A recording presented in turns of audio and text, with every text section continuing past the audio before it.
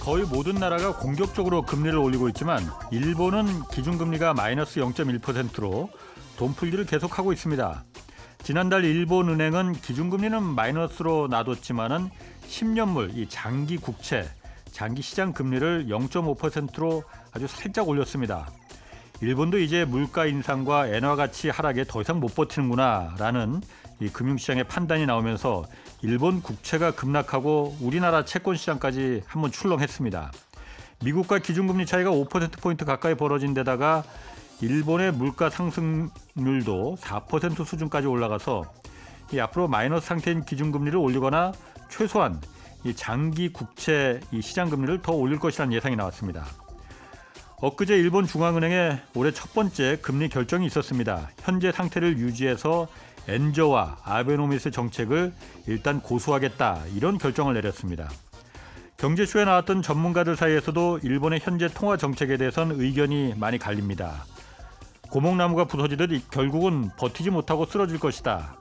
아니다. 일본의 경제 규모와 대외 채권 규모를 고려하면 버틸 수 있다. 이렇게 분석하는 쪽이 또 있었습니다. 일본 통화 정책은 우리 경제와 금융시장에도 매우 중대한 영향을 끼치기 때문에 앞으로 주의 깊게 살펴봐야 할 것 같습니다. 네, 홍사원의 경제쇼 출발하겠습니다. 유튜브 오늘도 함께 갑시다.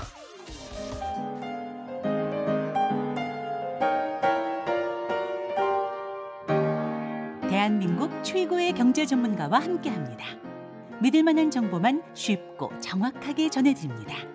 홍사운의 경제쇼. 네, 다음 달 2일 이제 미국 기준금리 다시 한번 결정됩니다. 미국 기준금리 전망 그리고 우리 주식시장 전망까지 함께 좀 짚어보겠습니다. 강영현 유진투자증권 영업부 이사 나오셨습니다. 안녕하세요. 안녕하십니까. 저희 프로그램에서는 처음 뵙는 것 같습니다. 네, 처음 뵙습니다. 저희 프로그램 가끔 보셨나요? 저희 프로 아이 안 라디오 보셨네. 네, 저는 그거에 좀 익숙해요. 저기 실광구 뭐 어, 이런 예. 때 아, 기자님 그거에 예. 되게 익숙합니다. 아, 여러 번 진짜요? 돌려본 프로그램입니다. 아, 고맙습니다. 어쨌든 네. 경제쇼에서도 앞으로 좀 자주 좀 모시겠습니다. 예, 고맙습니다. 먼저 그 최근 코스피가 상승장 계속 이어가고 있잖아요. 네, 상승하는 어떤 배경이 이유가 좀 있는 겁니까?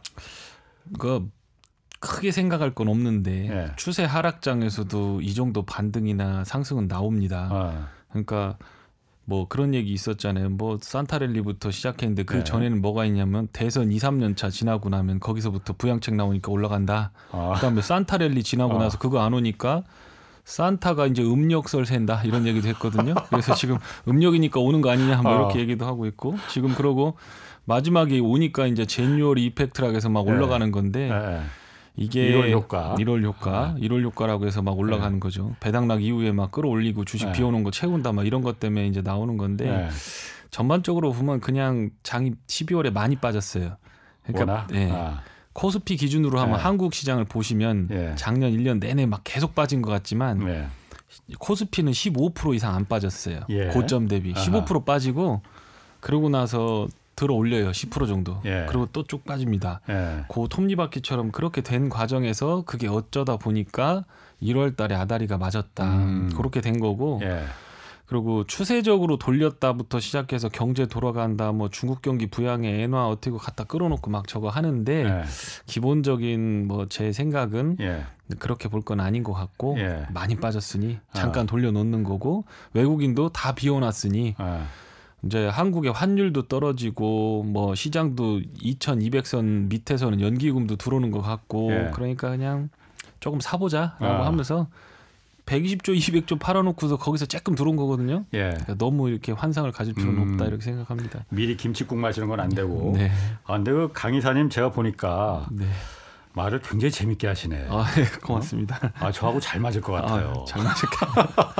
좋아합니다. 저 실광고 반했습니다. 아, 칠광고만 좋아하지 마시고 경제쇼도 네. 아 그런데 엄, 말을 굉장히 재밌게 아, 아, 까그 설날 크리스마스 아 그거 아주 제가 어, 인상 깊게 들었습니다. 자 그러면 아까 네. 제뉴얼리 이펙트 1월 효과 얘기했었잖아요. 네, 네. 일단 지금 보면은 이게 1월 효과 아니야? 이런 생각 들거든요. 그냥 네. 어, 1월 효과가 있다고 봐야 되는 거 아니에요? 그러면은? 그렇죠. 그게 이제 확률로 보면 네. 역사적으로 보면 한 7, 80년 짚어보면 네. 70%입니다. 그러니까 10번 중에 7번의 1월은 올랐습니다. 예. 근데 그 전에 산타렐리는 예. 확률로 보면 한 43% 되거든요.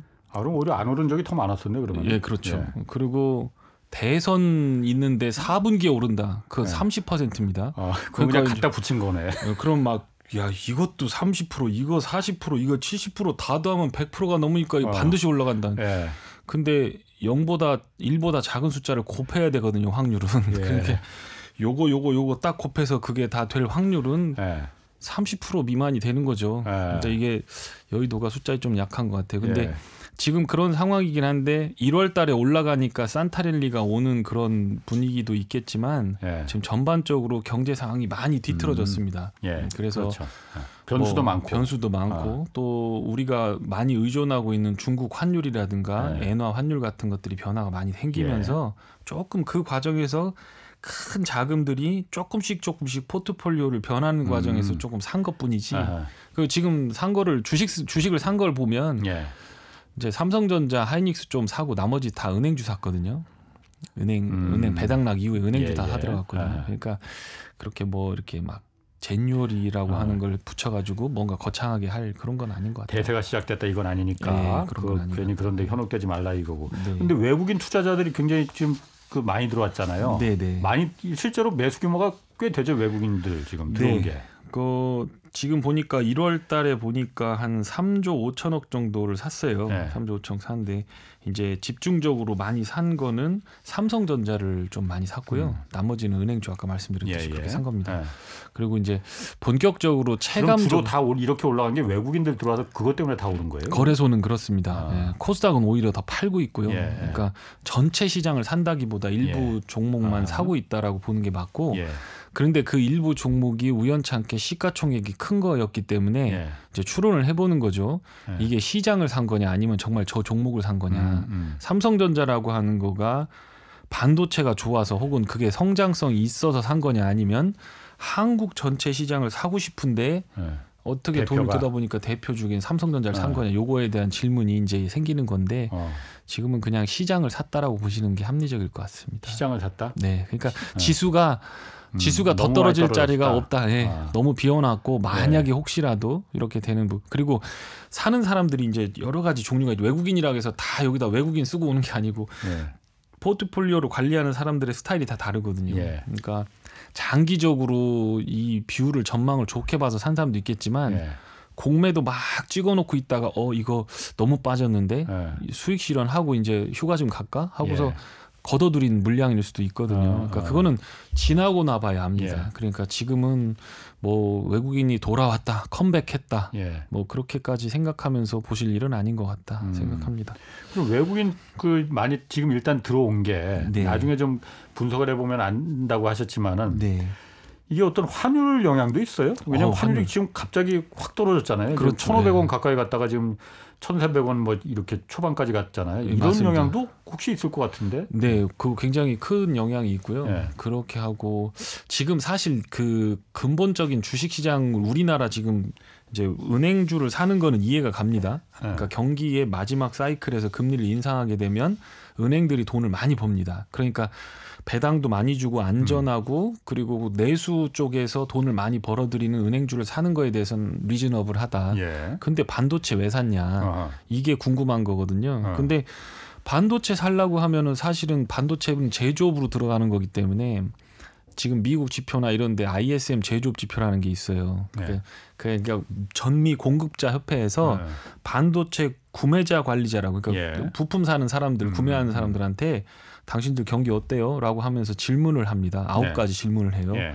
그걸 다 모아서 지표로 만들어 놓는 게 ISM 제조업 네. 지표입니다. 예. 그리고 그거를 거기서 여섯 개를 뽑아서 우리가 흔히 하는 PMI라고 하는 지표를 또 보거든요. 근데 그거는 실제로 보면 우리나라 반도체하고 정확하게 일치합니다. 우리나라뿐만 아니라 미국 반도체도 마찬가지고요. 예. 그래서 이제 반도체를 산업의 쌀이라고도 하고 네. 그렇게 해서 움직이는 건데 그거 지금 50 미만으로 떨어지면서 앞으로 6개월 안에 더 악화될 거라는 흐름들이 나온단 말이죠. 음. 그런데 반도체를 산다. 이건 조금 아이러니인 거죠. 그래서 아까 말씀드린 대로 이건 반도체를 사고 싶었던 게 아니고 시장을 시장을 사고 싶었는데 말씀하신 대로 환율이 빠지니까 예. 어쨌든 그 사람들 입장에서 봤을 땐 1,440원 갖고 들어와서 삼성전자 그냥 어쨌든 1, 2년 갖고 똔똔만 치고 환율이 1,100원까지만 가면 20% 먹는 거니까 예. 국채도 사고 뭐 따- 뭐 삼성전자도 사고 시장 전체 사놓고서 포트폴리오 딱 잡아놓으면 어 이거 좋거든. 그러니까 예. 큰 구찌들이 와서 몇 조를 산 예. 거다라고 생각이 드는 거고요. 예. 반도체가 그 시장이 여기서 바닥에서 2,200선에서 반등할 때 한국 시장에서 중요한 이벤트가 하나 있었는데 아주 저명하신 그 반도체 애널분이 예. 삼성전자의 반도체 그 재고 관련돼서 바닥 찍었다라고 콜을 확 했거든요. 예. 콜이라고 하는 건 이제 전화를 돌린다는 얘기거든요. 예, 예. 그러면 이제 아. 그런 분들이 이제 영향력이 세니까 예. 이제 하이, 하이닉스는 적자 볼 게 뻔하고 예. 삼성전자 실적 예비치를 보니까 반도체에서 1조 4천억인데 예. 그러면 이거는 공장 조금 있으면 공장을 꺼도 된다. 그럼 감산. 그러니까 반도체가 음. 공급 과잉이 들어가서 재고가 많이 넘쳐나는데 예. 감산 들어간다고 하면 가격은 더 안 떨어지고 올라가지. 반등할 거니까 예. 그럼 여기서 바닥 잡자 예. 하고서 달라들은 거죠. 예. 추세 전환이라고 크- 큰 어떻게 보면 추세 전환이라도 볼 수도 있는데 예. 뭐제 생각에는 그 이것저것 다 네. 어, 맞물린 것 같습니다. 네. 그런 상황이 영업 이사라고 하셨죠? 네. 영업 잘하실 것 같은데. 그냥 다들 넘어갈 것 같은데. 계좌 좀 터주십시오. 예. 네. 지난주에 어쨌든 그 미국 소비자 물가 지수가 6.5%로 아, 긍정적으로 나왔어요. 네. 그리고 우리나라 한국은행도 기준금리 0.25% 포인트 올려서 3.5%로 인상해서 그것까지는 좀 다 소화를 했단 말이에요. 네. 남아 있는 게 이제 다음 달 2일 미국 기준금리 다시 한번 또 결정되잖아요. 네. 이번까지는 인상 하겠죠? 예, 이번까지가 아. 이번은 뭐 빼, 빼도 박도 못할 그래요? 거고요. 예. 인상 안 할 수도 있잖아요. 미국 지금 뭐그 안 할 수 없을 것 같아요. 그래요? 예. 그 25bp냐 50bp냐 이건데 그안 할 수는 없을 것 같고요. 예. 그러니까 지금 금리를 보는 거에서 지금 이제 우리가 이제 인플레를 잡기 위한 거는 페드가 예. 금리 올리면 무조건 잡힙니다. 예. 사실은 그 예. 걱정할 게 없어요. 금리 갖고 막 CPI 갖고 걱정하잖아요. 예, 예. 그러니까 돈 뺏어가면 다 예. 금리 낮아집니다. 음. 근데 속도가 이제 문제인 거죠. 근데 페드가 이미 금리가 낮아지는 게 물가 인플레가 낮아진다 이거죠. 그렇죠. 예, 예. 금리를 딱 땡겨 놓으면 한 번도 안 잡힌 적이 없어요. 예, 예. 다 죽습니다. 아하. 그런데 이제 페드가 생각하는 거는 예. 그, 그 연설을 들어보면 그 예. 다음을 생각해요. 왜냐하면 페드가 경기를 죽이려고 맘먹는 게 아니고 잘 굴러가게 만들고 싶은 건데 그렇겠죠. 예. 아니 월급을 1억 주다가 1억 천만 원을 받았어. 예. 근데 왜 니들 먹고 살기 힘들다고 그래 월급 올려줬는데 예. 아니 1억 천만 원 갖고 예전에는 이것저것 다 하고 애들 키우고 잘 살는데 집값도 예. 오르고 이거 뭐 차도 못 사겠고 죽겠습니다라고 하니까 계산해 보니까 이거 안 좋거든요. 예. 그래서 그 이 원인이 뭐냐 물가 올라서 그렇다. 예. 그럼 그걸 잡는 게 맞다. 예. 이렇게 해서 금리를 올리는 상황인 겁니다. 예. 그런데 그렇게 할 때 우리가 시골에서 밭을 매갖고 풀 제초 작업을 할 때도 마찬가지잖아요. 위만 딱 잘라내면 비 오고 나면 다시 일어나거든요. 예. 인플레가 딱 그 모양이거든요. 음. 지금 그러니까 인플레의 기저에 있고 근본에 있는 거를 잘라내서 뿌리까지 뽑아내고 나서 다시 비료를 주고 물을 줄 겁니다. 그러니까 비료 주고 물 줄 생각을 하고 있는 Fed 입장에서는 지금 겉만 쳐내면 안 되는 거죠. 그러니까 뿌리까지 뽑아야 된다. 뿌리까지 뽑아야 돼. 그럼 어. 그 뿌리가 뭐냐? 예. 그게 바로 실업 고용이라는 고용. 고용 시장이 예. 너무 탄탄하면 안 되고 음.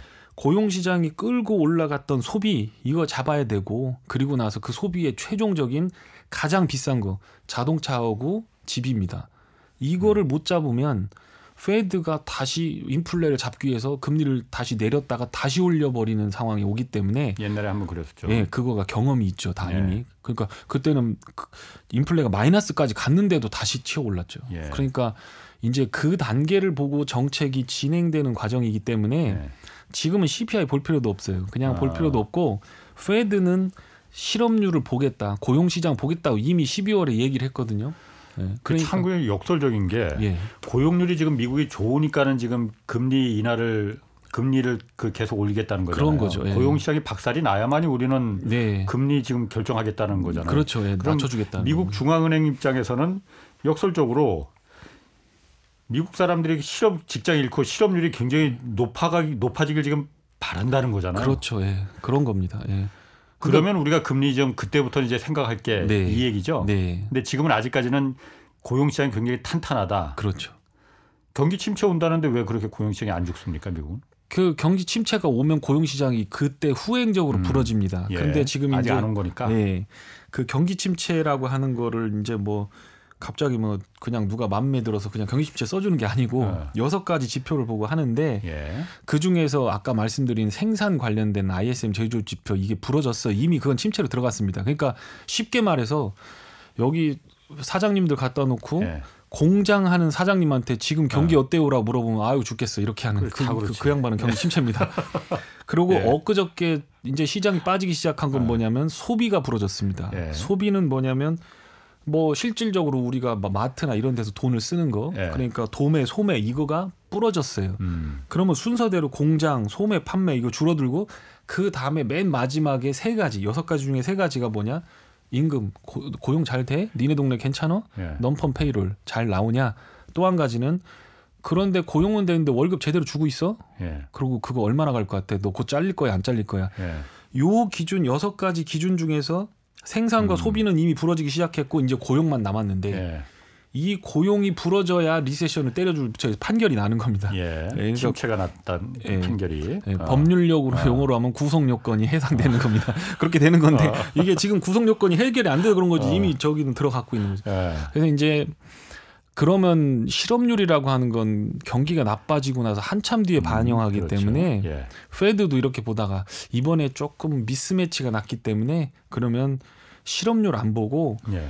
고용 시장이 넘펀 페이로라고 하는 거는 저 농장에 취업하는 사람 말고 고용된 음. 사람들 예. 그 사람들만 봤을 때 지금 20만 건 정도 되는데 예. 내가 그거 딱 보고 있다가 그거 조금 낮아지면 예. 금리 올리던 거 멈추고 동결하다가 예. 그러면 경기 나빠지면 돈 풀어줄게 이렇게 얘기를 했거든요 12월에 예. 그래서 이제 지금은 다른 걸 볼 게 아니라 고용 시장을 음. 무조건 봐야 된다. 고용 시장이 그럼 뿌리라는 얘기네요. 그러면. 네, 그게 네. 차트로 그려보면요. 예. 제가 갖고진 않았는데 정확하게 예. 지수 저점하고 부동산 저점하고 정확하게 일치합니다. 그래요. 실업률이 최고치로 단기적으로 네. 치솟았을 때, 예. 그러니까 4주 시, 4주 이동 평균 단기 예. 실업수당 청구 건수의 예. 4주 이동 평균이 최고치로 치솟았을 때 그걸 거꾸로 뒤집어서 음. 차트하고 그려 보면 채권 시장, 주식 시장 결합해서 6대 4로 포트폴리오 싼 거, 그다음에 부동산 싼 거 이런 것들이 바닥을 잡고 올라가기 시작합니다. 그러니까 고용 시장 게 무슨 말이에요? 그러니까. 아, 이렇게 포트폴리오로 이렇게 담았다라는 아, 거죠. 담았다는 거? 그러니까 네. 주식 6으로 담고 어. 채권 4로 담고 어. 해서 100을 맞춰 놓고 어, 용어가 참 생소하시네. 그 기존의 경제쇼 패널들하고 좀 다르시네. 아, 저좀좀 좀 저렴해서 제가 보급형 전문가라 이게 저하고 비슷합니다 지금. 어, 잘 맞아 지금. 아, 그렇습니다. 예. 감사합니다. 그러, 그래서 이제 예. 그게 아마 지금 이제 피벗이다 뭐 한다 뭐 리세션 온다는데 다 알려졌기 때문에 선반영 된다 이런 음. 얘기 하는데 그거는 경제 용어 자체를 잘 모르고 아. 하는 소리예요. 이렇게 예. 증시의 저점 리세션 증시에서 말하는 리세션은 경기가 후퇴하는 게 아니라 지수 20%만 빠지면 리세션이라 고 그래요. 걔들은 음. 자기들이 먼저거든요. 예. 우리가 이렇게 똑똑하고 돈 움직이는데 주식 20% 빠졌다. 그럼 리세션 오는 거에 대한 증거를 지금 시장이 반영하고 있다. 어. 시장은 다 알고 있다. 어. 마켓이 하나님이다. 이거 이러고 예. 있는 거거든요. 예, 예. 근데 지금은 그 마켓하고 경제학자들하고 divergence 그러니까 서로 보는 방향이 동쪽하고 서쪽하고처럼 다릅니다. 다양하다 이거죠. 예, 그래서 요번에는 경제학자들이 맞을 가능성이 상당히 높다. 경제학자들이 맞을 가능성. 예. 경제학자들이 뭘 말했는데? 실물 경제를 말하는 거죠. 아. 그 리세션은 사실은 예, 예. 실물 지표입니다. 예. 금융 시장하고 상관이 없어요. 이건. 예. 그러니까 바퀴로 그렇지, 보면 그렇지. 예. 왼쪽 바퀴와 오른쪽 바퀴죠. 예. 그러니까 금융은 오른쪽이고 어. 이건 왼쪽이라고 보면 실물이 그동안 탱탱했고 예. 금융이 탱탱했는데 이놈이 너무 빵빵해가 더 부풀어 가지고 이게 예. 차가 돌았던 거고 예. 그래서 이게 바람을 뺀 과정이 지금까지 빠진 음, 과정. 음. 그런데 이제 그 빠지는 과정에서 왼쪽 바퀴 실물도 영향을 봐서 얘가 지금 팍 주저앉을 거냐 펑크가 날 거냐 안 예. 날 거냐 이게 예. 리세션인데 예. 펑크까지는 아니더라도 축소된다. 그러니까 예. 이거 좀 더 빠져야 된다. 오른쪽 예. 바퀴도. 그래서 차가 돌지 않게 해야 된다는 게 음. 이제 신중론자들이 하는 얘기라고 보시면 됩니다. 그러면 지금 그 고용이 뿌리라고 하셨는데 네. 고용이 이제 어, 그 아까 무슨 차트 뭐 이렇게 나름대로 분석하는 그런 거로 보면은 네. 그 뿌리가 언제쯤 뽑힐 것 같아요? 어, 그런 것도 예상이 되나요? 예측이 되나요? 시, 기간은 예상할 수 있습니다. 네. 왜냐하면 경제 지표별로 뭐 소비는 6개월, 네. 그다음에 ISM 제조업 지표는 1년 8개월, 예. 1년 6개월, 그 다음에 고용 시장 같은 경우는 2년 이런 식으로 레깅 타임이 있긴 하거든요. 예. 근데 지금 되게 그 주의를 해야 되는 거 이번에 여의도가 굉장히 많이 틀렸어요. 예, 시장 예측을 많이 틀렸거든요. 아. 틀린 자- 절제적인 이유가 뭐냐면 금리 수준만 보고 케이스 스터디를 해서 그래요. 음. 그 뒤에 고용 시장이 받치고 있는 걸 봐야 되는데 예. 정상적인 루트로 한다면 금리 올라갈 때 주식 시장도 다 올라가요. 금리 올라갈 때 주식 시장도 올라간다. 네. 금리 역사적- 올라갈 때는 아, 아. 역사적으로는 이론적으로는 그렇지 않다면서요. 그러니까. 그렇죠. 여- 금리 올라가면 반대로 어. 시소처럼 금리 어. 올라가면 이렇게 내렸다 그렇지. 올랐다 하는 거가 이제 교과서에 내용 나오는 건데 예. 그렇게 투자하면 깡통치하기 딱 좋습니다. 그거 아. 아. 니에요 그거 아니고 그거는 아.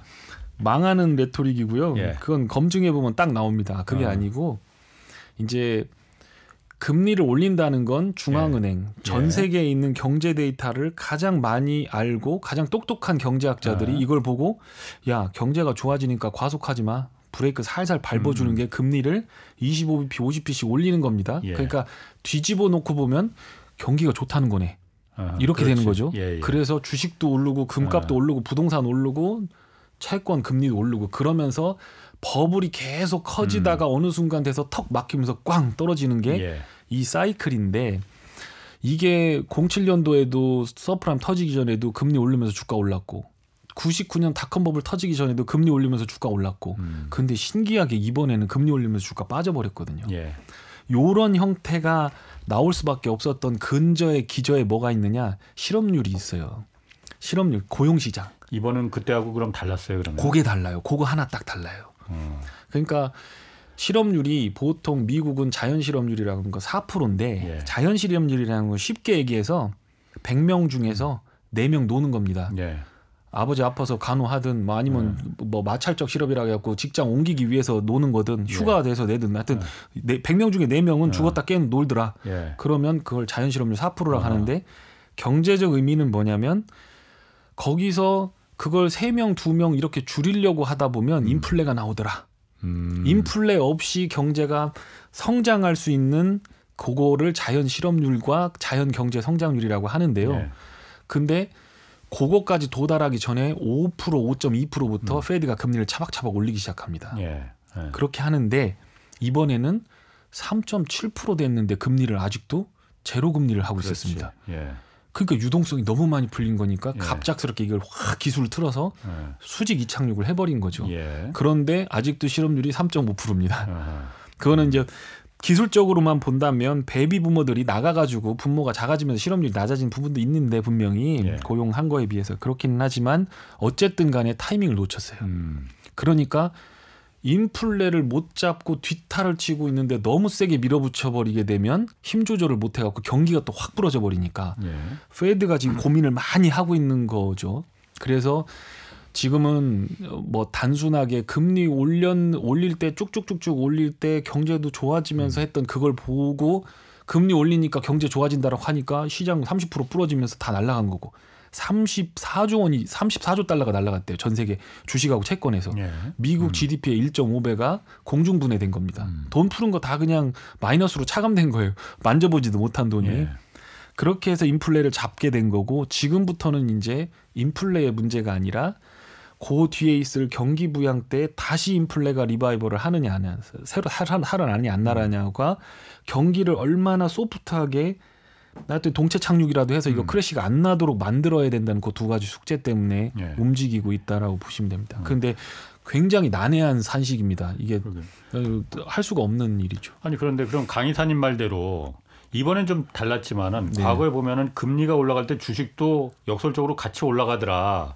그러면 금리가 내려갈 때 주식도 같이 빠집니까 그러면은? 같이 빠집니다. 그래요? 그럼 그럼 어 그거 어 대단하신데. 어 그거 어 그거는 정말 아 저하고 잘 맞아 지금. 감사합니다. 영광입니다, 진짜. 제가. 아니 그렇게 네. 주식 그 그렇게 돼요 그러면 과거에 됩니다. 그렇게 예, 됐어요? 예. 그럼 지금 금 리가 오- 언젠가는 내려갈 거 아니에요? 그렇죠. 예. 그때 그럼 조심해야겠네요. 그러면. 엄청 조심해야죠. 사람들이 잘못 알고 있어요. 예. 유동성을 푸는 단계에서 계속 금리가 내려가면 이게 논에 물을 대듯이 시골 예. 물에 눈 확 들어놓고 뭐땅 불어나면 거기다가 이제 이제 하고서 거기다 모두 심잖아요. 그러면 예. 이제 봄이 다가온 건데 예. 지금은 그게 아니거든요. 올리는 과정에서 동결을 시키면 예. 이제 환자 상태를 지켜보는 거거든요. 네. 치료해놓고 이게 음. 요 어떤가 이거 바이탈 체크하고 이렇게 보고 있는 거예요. 그러다가 이게 갑작스럽게 안 들어주면 의사 선생님이 확 들어와갖고 다 풀어버리죠. 막 예. 몰핀 주고 하죠. 예. 그게 그러니까 반대로 생각하면 금리를 인하한다는 거는 야 지금 상태 경제 상태 무지하게 안 좋다. 예. 지금 돈 풀지 않으면 큰일 난다. 그거를 개런티 해 주는 거거든요. 예. 그러니까 금리 인하는 여기서 금리 인하는 최악입니다. 그러니까 금리를 막 올리다가 동결하는 그 고원처럼 동결 동결하면서 옆으로 금리가 기준금리가 누워버리는 때가 있어요. 예. 그때가 주식시장이 마지막으로 빠져나올 수 있는 구간입니다. 빠져나올 수 있는 예. 탈출할 수 있는 그렇죠. 살 구간이 아닙니다. 어. 제가 그 참 그럼 그 시기가 곧 올 것 같은데. 곧 오죠. 예. 근데 그 구간도 어떨 때는 18개월, 27개월도 가면서요. 예. 동결하는 구간이 오래됩니다. 예. 그럼 경기가 너무 그 그걸 뭐라고 하냐면 골디락스라고 하는. 그래, 예. 뜨겁지도 않고 네. 덥- 뭐 차갑지도 않고. 네. 어. 금리가 높은 게 주- 나쁜 게 아니거든요. 예. 금리가 높으면 뭐 노인 양반들이 가서 그렇죠. 월세 예. 받으려고 부동산 투기 안 해요. 예. 은행에다 예금으로. 놓고 연금하고 예. 그뭐 보험이라든가 연기금이라 이런 쪽에서도 채권 푸- 투자하면 너무 좋기 때문에 그렇지. 그 금리 높은 게 나쁜 게 아닌데 그걸 버티고 경제가 버텨 나간다 그러면 음. 정말 좋은 상태거든요. 그렇죠. 원래 금리가 높은 게 노동 소득이 자본 소득을 앞설 수 있는 정상적인 이제 어? 그 사회가 어? 그런 거거든요. 오, 오, 오, 이거, 어, 어, 그, 그 노동석 대단하십니다. 아, 그런 전문용 그 맞습니다. 예, 그 정말 그래서, 정확히 맞습니다. 예, 예. 그런데 지금 이제 만약에 그걸 무- 그 고원지대가 예. 이제 고딩 양식처럼 첨탑처럼 이렇게 아하. 교회 첨탑처럼 뾰족하게 쏟아버리면 예. 그러면 이제 골치 아파지는 거죠. 아. 증권맨들이 바빠지는 겁니다. 예. 먹은 건 빨리 다 팔고 아. 하방으로 대비를 해야 되는 시기가 음. 그렇게 오는 건데 예. 이번에 그럴 가능성이 너무 높다는 거예요. 이번에 예. 고원지대를 유지한다고 페드가 그러잖아요. 예. 근데 아직도 페드를 믿고 투자를 하는 투자자들은 없겠죠. 그동안 1년 반 동안 우리를 속여왔는데 어, 예. 그, 그거는 안 맞는 아. 말이고 지금 상태로만 본다라고 하면 빨리 인플레를 잡아서 지금 소비 같은 거는요. 1980년대 이후로 최대 침체입니다. 소비가 예. 먼슬리로 보면 아. 예. 침체 수준이 미국 같은 경우는 굉장히 예. 안 낮죠. 그리고 아. 뻔한 거예요. 미국은 비싸니까 안 쓰는 거겠죠. 예, 맞습니다. 부동산으로 다 들어가야 되니까. 예. 그 예전처럼 서프라임처럼 뭐 그렇게 부동산이 미국이 터지고 그럴 일은 없어요. 거기 예. 안전해요. 2.5%, 3% 안에 예. 거의 7, 80%가 음. 다 들어가 있으면 고정금리입니다. 네. 미국은 안전합니다. 예. 다른 데 어디가 터져야죠. 예. 그래야 미국이 이렇게 가다가 보다가 니들 달러 부족하지? 너 그 고속도로랑 그 항만 그거 나한테 증서 써갖고 와. 예. 그 인프라 투자 내가 증서 써줄게 채권. 음. 그러고서 사놓고 그거 30년짜리 묶어놓고 10% 받아가면서 고속도로 타고 통행료 내면 거기 10%씩 다 갖다 미국으로 바치는 이 구조를 만들어야 음. 미국이 먹고 사는데 음. 미국도 골치 아픈 거죠. 중국이 그동안 돈 벌었으니 자들을 좀 묶어가지고 거기다 빨대를 좀 꽂아야 되겠는데 예. 자들은 지금 까꾸로 하고 있거든요. 그렇지. 미국이 돈 쪼이는데 쟤들은 풀었어요. 어, 20, 2020년 3분기부터 중국은 계속 완화 정책이었습니다. 예. 그러니까 지금 증시가 올라가니까 뭐 중국 전인대 때문에 올라간다고 하는데 그게 아니고 이미 돈은 다 풀려 있는 상태에서 스- reopening이 되니까 중국 경제가 네. 돌기 시작하니까 증시가 올라가는 거지 예. 돈줄을 조이면 거기도 안 올라갔을 거예요. 근데 어. 너무 많이 풀렸어요. 거기는 인제 풀리거든요. 예. 그래서 이제 그런 거고 그러면 이제 조금 있으면 PPI라고 하는 생산자 물가가 이제 치솟으면서 또 인플레 걱정거리가 나오는 거죠. 음. 중국에서 물건값을 올려버리게 되면 예.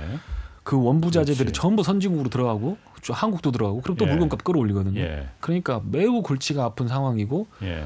그런 구조들을 보는 경제학자들은 금리 지금 내리기는커녕 옆으로 오랫동안 유지하거나 더 올려야 된다. 음. 아, 이렇게 얘기하는. 그런 근거로다가 내리지 않고 계속 옆으로 계속 더 이상 올리지는 않더라도 계속 옆으로 이 예. 고금리가 오랫동안 갈 것이다. 네. 그러니까 실제로 이 미국 연방준비제도에서는 올해 안에 내릴 가능성 제로라고 절대 했죠. 없다라고 네, 했잖아요. 제로라고 결코 없다고 했죠. 했잖아요. 네. 근데 시장에서는 이 경제쇼에 나오는 패널들도 어, 10명 중에 한 7명 정도, 7, 7명, 한 8명 정도는 하반기에 분명히 내려갈 거다. 시장을 이기는 정책은 없다. 아. 시장은 지금 다 내려갈 걸 기대하고 있기 때문에 네, 네. 내려갈 거라고 전망하고 있거든요. 네. 강 이사님은 어, 어, 그 일단 그거 제가 뭐 애널리스트는 아니기 때문에 그거에 대해서 제가 정확히 말씀 못 드리겠습니다만 저도 리셋 정확하지 않으면 얘기 안 하셔도 되고. 아 정확한 게 한 개 있어서 얘기하려면 딱, 한딱 하나만 개. 딱 아, 얘기하고 가겠습니다. 네. 아 그거는 저만 아는 걸 수도 있고 네. 제가 공부 열심히 했어요. 예. 지금 2년물 국채금리하고 Fed 기준금리하고 예. 이렇게 역전이 됐습니다. 그러니까 역전 다 역전됐죠 지금 뭐. 아그 아니 그게 그 예. yield curve inversion 말고 예. 기준 금리 Fed 정책 기준 금리와 예. 2년물 국채 금리인데요. 예. 원래 이게 사실은 Fed 기준 금리보다 국채 금리가 시장이 먼저 반영하는 거잖아요. 예, 그러니까 이- 그렇지. 예. 기준 금리가 따로 하거든요. 예, 예. 근데 얘는 더 높고 예. 얘는 낮아요. 2년물이. 예, 2년 2년물입니다. 예. 그러면 단기 시장에서의 자금줄 막히고 이렇게 들어가고 하는 건 어느 정도 시장이 균형을 잡았다는 얘기거든요. 음. 그러니까 페드 입장에서도 더 금리 올려도 더 금리 올려도 인플레로 직접 나가는 돈줄에 대해서는 통제 못한다라는 걸 아는 시기가 딱 그건 것 같아요. 음. 2년물 국채금리. 그러니까 내가 아버지가 화가 엄청 났어. 이놈 자식 뭐 하면서 음. 눈물 좀 흘리다가 여기서 잔소리를 더 해봐야 얘가 효과가 없다는 걸 아는 거죠. 네. 아. 그 시기 시점이 딱 지금 온 거예요. 아. 그래서 제 생각에는 요번에 올리고 나면 동결적으로 갈 가능성이 상당히 높은데 예. 바로 내리지는 않겠지만 예. 페드는 이번 연말까지 계속 길게 갈 거야라고 인플레 기대 심리를 낮, 낮추기 위해서 레토릭으로 그렇게 죽이고 있지만 예. 실제로 경제 지표들을 보는 분들은 엉망됐네. 어. 고용 시장 부러지면 6개월 있다가 부러지면 저기서 내린다라고 얘기를 할 것 같네라고 예. 얘기하는 게 맞습니다. 아. 그래서 뭐 금 지금 그리고 또 이제 정말 중요한 거가 뭐냐면 예전에는 예. 대부분 다 은행 대출로 들어갔잖아요. 예. 지금 기준금리 정책이라고 하는 거가 세팅된 거가 한참 됐습니다. 중앙은행이 세팅되면서부터 네. 이게 1970년대부터 그게 파워를 발휘하기 시작했거든요. 예. 윤전기를 막 돌리기 시작할 때부터. 근데 핵심은 지금은 그 구조는 은행을 염두에 둔 구조입니다. 아. 예금과 대출을 통해서 돈을 밀어내고 조이는 거를 정확하게 할 수 있는 거. 그러니까 네. 사실 이제 M2라고 해서 이제 그거 은행에서 조절하는 거, 저 통화, 광리 통화, 예, 예. 통화죠, 총통화. 음. 그걸 가지고 한 지금 구- 그 도구가 거의 구석기 시대, 신석기 시대 또 저기 돌랏 이런 거랑 비슷한 음. 거예요. 왜냐하면 지금은 직접 금융시장인 증권이라든가 채권 음. 조달이라든가 이런 것들이 굉장히 구조화 상품이 많이 돼서 은행을 통하지 않고 투자자들을 모아서 직접적으로 돈을 대주는 시스템이 많이 발전을 했습니다. 예. 그리고 더 아. 중요한 건 이 시스템은 미국에서 미국 국내 경제가 블록으로 딱 쌓여 있을 때 굉장히 큰 효과를 발휘하던 시스템이었는데 세계화됐잖아요. 예. 금융이 막 클릭 한 번으로 왔다 갔다 하는 거가 됐기 때문에 예. 잘 안 맞아요. 예. 그러니까 페드도 지금 금리를 막 끌어올리는데 얘들이 왜 내 말 안 듣지? 예. 이렇게 된 거죠. 어. 그래서 보면 기준 금리를 매우 급하게 올리기는 했지만 왜 증시가 왜 올라? 지금 뭐 바닥 잡고 지금 증시가 올랐는데 이게 지금 되게 궁금해 하신단 말이에요. 네. 근데 그거는 그거 말고 파이낸셜 컨디션이라고 하는 거 지금 말씀드렸던 직접적으로 증시를 통해서 들어가는 자금들 그리고 외국에서 들어오는 자금들 이게 음. 통제가 안 되기 때문에 그거까지 싸가지고 골드만삭스에서 파이낸셜 컨디션을 발표합니다. 거기에는 그게 들어가거든요. 예. 그건 완화로 들어갔어요. 작년 4분기부터 금리는 계속 올리고 있었지만 예. 실제로 시장의 돈들은 풀려나가고 있었어요. 실제로 시장의 돈들은 풀려나가고 기준금리는 올라갔지만 올렸지만은 네. 그러니까 은행 창구를 통해서 나가는 돈은 그 돈 말고 그거는 줄었지만 줄었지만은 예, 증권가부터 시작해갖고 이쪽 채권 뭐 예, 이쪽으로는 해외 쪽에서 들어오는 예. 돈, 그다음에 뭐 무역 대금 예. 들어오는 돈, 그러니까 거기에 들어가는 거가 뭐냐면 환율 들어가고요. 예. 그다음에 이제 10년물 국채 금리 기준 금리로 해서 파이낸싱에 예. 직접적으로 막 예. 태양광 발전소 짓는다 그러면 해외 가갖고 그냥 여기다 돈 박아가지고 그냥 투자해버리잖아요. 예. 그런 돈들까지 하니까 실제로 은행 창구는 다 조여서 돈이 안 나갈 예. 거라고 꽉 조였는데 예. 여기서 슬금슬금 나가고 있었던 거죠. 그래서 주식시장이 올라간 거지. 그게 경기를 선반영해서 음. 증시가 올라갔다라고 하는 거가 그거 맞지 않다라는 거고요. 그래 그리고 또 한 가지가 뭐냐면 정부가 이제 이- 이런 거죠. 마이너스 통장하고 똑같습니다. 예. 우리가 마이너스 통장 가는데 은행에서 1억을 받았어요. 예. 근데 1년에 5천만 원도 안 쓰잖아요. 그럼 예. 은행에 전화 옵니다. 왜 너는 마이너스 통장 한도만 잡아놓고 5천도 못 쓰냐? 어. 5천만 원을 줄이자. 지금 어, 이게 어. 뭐냐면 이게 뭐냐면 미국 국채 부채 한도입니다. 아, 그 정부 부채 한도 그 예. 정하는 거. 예. 예. 아, treasury government account라고 해서 예. 마이너스 통장 한도를 만들어줘요. 지금 영어를 그렇게 31조. 잘하지 못하시는 것 같은데. 아, 이거 발음이 안 좋아서 그래요. 어, 어, 발음이 안 좋아서 그렇지. 어, 까먹는 건 뭐? 아닙니다. 예. 자, 다 알아들었습니다, 제가. 예. 아유, 그 영어를 쓰지 말아야 되는데 공격을 많이 받는데 아. 제가 발음이 구려요. 네, 근데 그, 그 어카운트가 예. 생각을 해보시면 이제 선거도 해야 되고 하는데 예. 이거 한도를 남겨놓고 나갖고 의회 가가지고 이거 좀 더 해주십시오 하라고 하면 뭔 소리야 다 쓰지도 못하고 그렇지. 그러니까 깎아야지 뭐 이렇게 예. 예.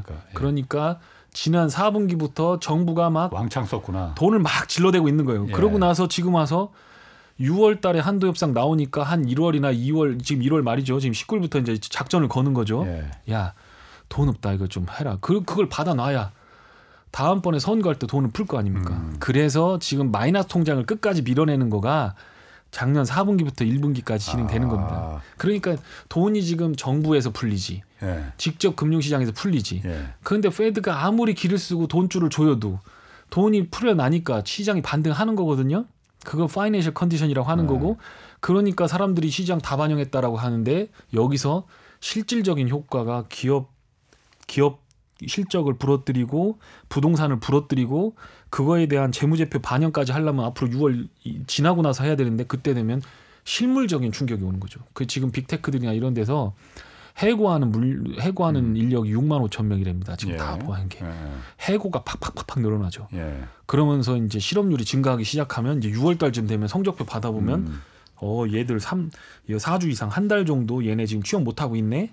요것들이 지표가 올라가기 시작할 겁니다. 음. 그게 어느 정도 합격점 나오게 되면 동결하다가 어 이거 너무 센데라고 하면 음. 풀기 시작할 겁니다. 그러면 실물 시장이 한 번 더 충격을 받으면서 시장 한 번 더 다이빙이 나옵니다. 예. 그러면 그때 바닥을 잡아서 큰 돈을 태우시고 장기적으로 연금이나 이런 것들을 주식에다 넣으시는 타이밍은 그때가 맞다. 음. 그렇게 생각합니다. 근데 지금 제가 얘기 들어보니까 어, 미국에서도 지금 기준금리를 계속 그 올리면서 돈줄을 은행에서는 자꾸 줄였는데 흡수했는데 다른 데서 그러니까 이게 계속 늘어났다 이거잖아요. 네, 맞습니다. 그럼 그래서 그럼 어쨌든 시주, 시장에는 돈이 풀리는 거잖아요. 그렇죠. 예. 그래서 그럼 물가가 안 잡히는 거예요? 잘안 그, 것도 거예요? 그러- 그런 것도 있죠. 지금 쉘터 같은 거 집값 같은 거 안 떨어지잖아요. 네. 그러면 굳이 고통스럽게 미국이 통화 정책으로 다 기준금리를 올릴 필요도 없는 거 아니에요? 그러면은? 그렇죠. 서민만 죽는 거죠.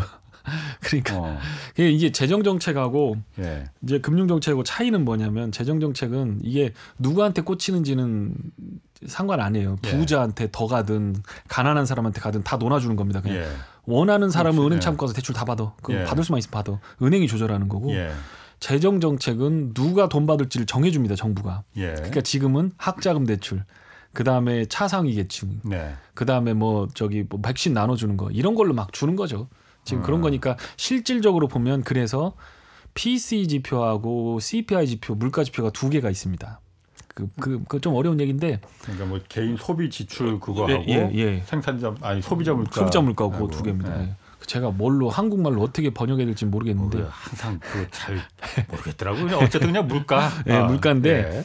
PC가 대표하는 게 뭐냐면 그거는 이제 예를 들어 아프거나 이런 네. 것들 그 비중이 많이 큽니다. 예. 예, 그리고 CPI 같은 경우는 집값이 많이 크고 음. 그러니까 실제적으로 보면 집값하고 정부에서 이쪽을 계속 지원을 해줘요 보험료나 이런 것들을 막 예. 아픈 사람들 치료해주고 하는 거니까 이거는 조금 어느 정도 안정이 돼서 안 올라와요. 예. 근데 돈 있는 사람들이 집값 끌어올리니까 CPI는 막또 올라옵니다. 예. 그래서 지금 아마 정부가 타겟팅하고 있는 쪽은 부동산 시장일 가능성이 상당히 높습니다. 음. 그래서 신규 주택 착공이나 이런 것들이 사실 국민 경제에 이바지하는 측면은 분명히 있기는 하지만 그것보다 렌트가 100이 올랐으면 집값은 똑같이 100이 올랐어야 되지 않습니까? 근데 140이 올랐어요, 미국은. 한국은 180이 올랐고요. 예. 뭐 저쪽 뉴질랜드 이런 애들은 250이 그러니까 올랐습니다. 거의 엄청 예. 올랐죠. 그러니까 예. 너무 올랐어요. 예. 그러니까 그거를 어느 정도 캄다운을 시켜야 됩니다. 예. 그럴 수 있는 방법은 실업률인데 이런 거예요. 과잉 투자죠. 음, 음. 이거 유튜브 스튜디오인데 야 뭐 KBS는 돈 많으니까 니들은 해 유튜브 뭐 버텨봐 금리 네. 올려볼까 딱 올려 너 버틸 수 있으면 해봐. 예. 그런데 저쪽 가고 그 구독료도 안 나오고 막 하는 애들 있잖아요. 예. 접어 접어 니들 어. 그거 갖다 다 팔아 당근마켓 다 팔고 얼른 접 접고 니들이 실업자로 나와서 딴 데 가서 일해 편의점 가서 일하든 어. 딴데 가서 왜 니들이 생산성이 안 나오는데 어. 경쟁하면서 니들이 왜 저기 가서 그거 돈 쓰면서 니들 그 실업률 높이고 임금 끌어올리고 있어? 네. 니들 장소 하려면 부동산 임대해야지 왜 네. 임대소득 끌어올리고 있어? 아하. 생산성 없고 돈 못 버는 거 접어라고 하는 게 금리 올리는 겁니다. 음. 그러니까 다 국민들한테 고통을 주는 게 아니고 견딜 수 있을 만큼 딱 인젝션을 준 다음에 그 상황에서 정리되는 수준이 가직식을 탁탁탁탁 하니까 아 여기 이 정도 정리됐으면 이 사람들 여기로 넘어가면서 먹고 살만 하게끔 또 풀어주자 음. 이거를 지금 이제 호흡을 하는 거잖아요 훅 불어냈다가 네. 들을 마셨다 이걸 네. 지금 하고 있는 건데 네. 지금은 끔찍도 안 해요 고용 시장이 20만 건 신규 고용이 나오고 있고 실업률은 더 떨어져 버렸고 네. 사람들 먹고 살만하니까 150만 명이 구직 시장에 나가 버렸어요. 네. 아돈 많이 음, 벌었다 이거죠. 아 뭐 집도 뭐 10억 주고 산 게 40억씩 되니까 아 일 안 해도 될 것 같고 먹고 살수 음. 있을 것 같지. 근데 이제 그 40억 됐던 게 한 20억쯤 떨어지면 생각해 보니까 좀 모자란 것 같아서 이제 마트 가서 이제 바코드라도 찍으려고 들어오면 그러면 임금 상승률이 낮아지거든요. 예. 그러면 이제 그때 보고서 어. 고용 지표 딱 보고서 어, 페드가 어, 금리 아. 더 이상 이제 음. 이렇게 이렇게 되는 거죠. 그때가 네. 자 미국은 그렇고 아, 오늘 말그 얘기가 너무 재밌어갖고 미국 얘기가 너무 길어졌네. 일본도 좀그 관심 많거든요 요즘. 네, 네. 일본이 엊그제 그 통화 정책 여러 가지 가능성이 있었어요. 그러니까 음. 기준금리 마이너스인데 지금 이거 올릴 수도 있다. 아니면 미국은 특이하게도 하여튼 장기 국채 금리를 시장 금리를 그 중앙은행이 통제하잖아요. 음. 통제, 합니다 어, 이거 이제 포기할 수도 있다. 그런데 음. 결국은 나온 거는 그냥 이대로 가자 버틸 때까지 예. 버틸 수 있을 때까지 버티자 예. 이거 이거 아닌가요? 이거 괜찮은 거예요? 그 그게 제가 저기 질문지를 보고 어. 예. 제가 뭐 일본 관심이 없었다. 일본 싫어해요, 제가. 일본 별론데 예. 뭐, 아, 니들이 망하든 뭐하든 나 별론데 어. 그런데 일본에 기본적으로 나와 있는 거에 핵심이 있는데 예. 걔네가 가장 직면한 문제는 산업 공동화입니다. 음. 엔화가 강세로 들어간 프라잡 이후에 공장들이 전부 해외로 옮겨가면서 해외 자산이 많고 국내 국민들은 취업할 때가 마땅하지 않으면서 예. 소득 개인 소득을 높여줄 수 있는 방법이 없는 거죠. 예. 그런데 고용은 해야 되니까 100이라는 걸 10명이 나눠야 되는데 그걸 20명이 나눠서 음. 먹고 있으니까 예. 한국한테 개인당 소득이나 이런 것들이 역전돼 버린 거거든요. 예, 예. 그러니까 이게 재밌는 게 뭐냐면 우리나라 같은 경우는 환율을 끌어올리면 한국 공장이 막 돌아가면서 물량을 막 밀어냅니다. 음. 그렇게 됩니다. 예. 그러니까 결국에는 우리나라에서 쓸 거를 싸게 해외에다 팔아서 달러 네. 들여와서 이렇게 들어오는 구조를 만드는 겁니다. 예. 근데 일본은 그게 안 되거든요. 음. 일본은 안 돼요. 이미 아무리 저기 위엔화를 약세를 만들어 엔화를 약세를 만들어도 예. 지들 본토에 공장이 없어요. 없으니까. 중소 그렇지. 중소기업밖에 없어요. 그거 다 전부 다 미국에 있고. 예, 예. 그러니까 있고. 그러니까 그게 원래 그러니까 일본은 그러면 엔화를 잘 조절해 갖고 그동안 음. 뿌려놓은 돈으로 들어와서 국민들 먹고 살게 하자라는 걸 정책을 오랫동안 음. 했는데 그 저 돌아가신 분 아베 아베가. 예. 어. 망언 제조기죠 그 양반이 아. 그런데 그 양반이 이제 아 이거 국내 경기 살리겠다고 정책을 완전히 아. 틀어버렸죠. 예. 그러니까 저, 경, 정치가 경제를 망친 10년 아마 음. 역사에 기록될 겁니다. 음흠. 그렇게 하면 안 되는 나라인데 그게 예. 어. 미국하고 비스무리하게 가야만 되는 나라인데 예. 걔- 걔들이 그렇게 한 거예요. 예. 근데 그 정책적인 변수들이 물가를 들어올리는 이저 side effect 어. 그러니까 부작용을 만들어 버린 거죠. 예. 그러니까 그거를 지금 입장에서 봤을 때는 엔화를 강세로 만들어서 다시 옛날처럼 돌아가야 되는데 예. 그러려고 했더니 전 세계 금융 시장이 흔들은 3천조를 갖고 있는 3조 달러를 갖고 있는데 예. 그게 다시 일본 쪽으로 빨려 들어오니까 음. 그러자네도 미국이 지금 국채도 문제가 생기고 그것 좀 누가 받아줘야 되는데 일본이 네. 계속 던지고 있고. 예. 미국이 불렀겠죠 예. 속으로 예. 야형 힘들어 죽겠는데 예. 네가 자꾸 국채 팔면 자꾸 금리 올라가고 어떻게 예. 네가 좀 참아야지 이제 그렇게 맞춘 거 아닌가 예. 그렇게 생각이 됩니다 그 예. 나머지 것들은 정확하게는 잘 YCC 컨트롤이나 이런 것들은 구르다가 그만두면 이제 포기할 거다 이런 얘기 네. 나오는데 이제 경제학적인 원론적인 수준에서 보았을 때는 예. 일본은 환율을 부양하는 거는 물가 상승만 할 뿐이고 음. 구- 실질 구매력을 낮춰버리기 때문에 일본 경제가 좋기보다는 나쁠 수밖에 없습니다. 예. 예전에 예전에 80년대 그 중흥기에 대한 향수 때문에 예. 환율을 띄워가지고 막 하려고 하는 그런 생각은 일본에게 쥐약일 가능성이 높고 예. 그거에 대한 부작용을 눈으로 확인하고 있는 거다. 예. 그래서 오래 못 간다. 그게 제 생각입니다. 오래 못 가면은 오래 못 가면 지금의 정책을 그럼 그 기- 강력하게 중앙은행이 통제하던 이 정책을 그럼 포기해야죠. 포기하면은 예. 포기를 아- 안 하고 싶어서 지금 안 하는 게 아니잖아요. 못 하는 못, 거잖아요. 못 하는 거죠. 이, 이쪽 저쪽 상황들이 네. 지금 아, 악구가 안 맞는 거죠. 이제. 네. 그러니까 아베가 망쳐놨다는 거죠. 그러니까 그 이 상황을 일본이 벗어날 수 있는 유일한 방안은 미국이 금리를 내리는 것밖에 없겠네요. 그렇 그렇겠죠. 예. 그때까지 기다리 버티 버텨보자. 버텨야 되죠. 버텨야죠. 예. 금리를 내리고 예. 물가가 안정되는 수준까지만 되면 예. 0.5% 1% 금리만 가지고도 일본은 돌아가니까. 예, 예. 그리고 중앙은행이 다 갖고 있는데 국민들 부채거든요. 그러니까 그 그렇지. 국가 예. 그, 그 나라는 음. 40년 동안 전 세계 돈을 다 쓸어 담아서 아직도 부자로 사는 국가이기 때문에 예. 어떻게 보면 우리가 일본 망한다 뭐 이러면서 하는 거는 너무 너무 나간 얘기고 예. 뭐 마음이야 이해는 하지만 그랬으면 좋겠다는 그건 이해는 하지만 그렇다고 하더라도 그렇게 만만히 볼 국가는 아닌데 예. 아베가 어떻게 보면 예. 그렇게 생각하시는 분들 엑스맨이었던 거죠. 어. 어. 자기 나라 좋으라고 막 엔화를 막 이렇게 해서 막 한 것 같지만 예. 실제로는 별로 안 좋았죠. 골병이 들게 만들어 놓은 그렇게. 한 거 그런 정책이라고 봅니다. 자, 그럼 아, 그 올해 이제 국내 증시하고 이제 미국 증시 또 중국 증시도 있어요. 네, 네. 그 보시기에 강의사님 보시기에는 어, 가장 기대할 수 있는 증시는 어느 나라 증시겠느냐? 어, 중국을 말하는 분들 의외로 많, 그 의외가 아니고 많더라고요. 네. 어, 어떻게 보십니까? 그 저도 그렇게 봅니다. 중국이? 예, 중국이. 왜? 예.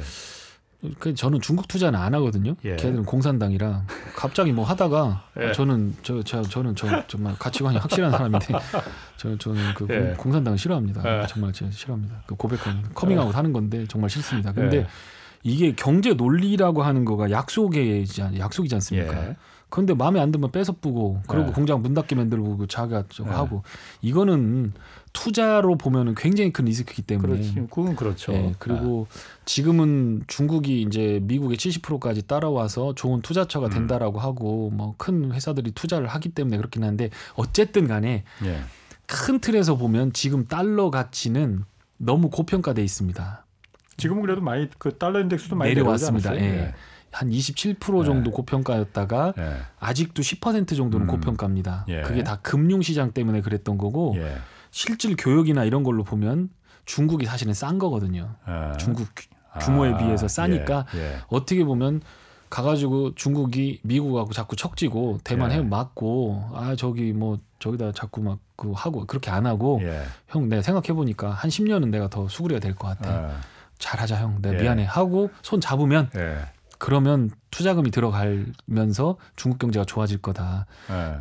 그러니까 결국에는 전 세계 투자판 투자파는 미국 돈 미국 달러가 다 움직이는 건데 예. 지금도 골드만삭스나 어떤 데이터들을 네. 보면 중국 으로 돈이 많이 나갔어요. 이머징 마켓을 끼고 있는 중국 자금 중국으로 미국 돈이 많이 들어갔어요. 그러니까 미 중국에 직접 투자 FDI도 많이 들어갔어요 지금. FD도 예. FDI도 많고 실제로 간접으로 들어가는 돈도 굉장히 많이 흘러 들어갔습니다. 예. 그래서 이제 결론적으로 얘기하면 그게 선제적으로 중국이 싸기 때문에 투자한 것도 있지만 음. 더 이상 미국은 앞으로 기대 수익률이 5년간 0%입니다. 예. 인플레 고려하고 금리 고려했을 때 미국 증시를 5년간 가지고 있었을 때 예상되는 기대 수익률이 제로입니다. 예. 그러니까 그 돈 지금 막 부동산, 주식, 채권으로 다 벌어놓은 JP 네. 모건을 비롯한 월스트리트의 아이비들이 이거 앞으로 5년 동안 뭘로 벌어먹지? 예. 그래서 조금 떼서 중국에 집어 넣은 거고 예. 그렇게 해서 유럽 음. 집어 넣은 거고 예. 한국은 중국 프락시니까 이 그쪽에다 조금 들어온 거죠. 예. 그래서 이제 이렇게 된 건데 큰 추세로 보면 10년은 미국이 끌고 올라갑니다. 증시를. 10년은 미국이 다른 나라에 비해서 더 크게 오릅니다. 앞으로 이미 그렇게 올랐죠. 어, 예. 미국 나스닥이나 미국 증시의 예. 상승률이 지난 10년 동안 여타 이머징이라든가 음. 다른 어느 국가에 비해서도 가장 많이 올랐습니다. 예. 근데 이제는 이머징이 그거보다 미국보다 더 많이 올라가는 10년이 발생됩니다. 10년마다 그게 주기적으로 발생돼요. 그거는 차트를 그려보면 너무 명확해요. 예. 달러를 강세를 만들었다가 약세를 만들었다 하는 음. 과정에서 오는 필연적인 과정이고 예. 그 과정에서 금리를 끌어올려서 이렇게 넘어가는 음. 소, 넘어가는 큰 경제가 있으면 거기다가 투자를 하면서 미국이 투자금을 회수하는 그런 구조를 만드는 건데 그런 의미에서 봤을 때는 중국이나 한국이 미국 본토에 투자하는 것보다는 조금 나을 수도 있다 이렇게 생각합니다. 예. 아, 오늘 아주 재밌게 아주 잘 들었습니다. 정말로. 강영현 유진투자증권 이사 함께했습니다. 다음에 또 나오시고요. 네. 고맙습니다. 고맙습니다. 내일은 오전 11시에 유튜브로 경제쇼 플러스 업로드됩니다. 이번 주에는 이세환 군사전문기자와 한국 핵무장론이 몰고 온 파장 살펴보겠습니다. 내일부터 시작되는 설 연휴 즐겁게 보내주시기 바랍니다. 지금까지 경제와 정의를 다잡는 홍반장 홍사원의 경제쇼였습니다.